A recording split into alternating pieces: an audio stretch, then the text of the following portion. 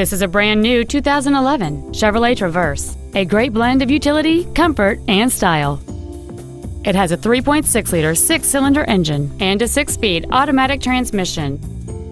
Its top features include a power driver's seat, air conditioning with automatic climate control, a power rear liftgate, a 10 speaker audio system, a leather wrapped steering wheel, aluminum wheels, a rear spoiler, a low tire pressure indicator, and a navigation system.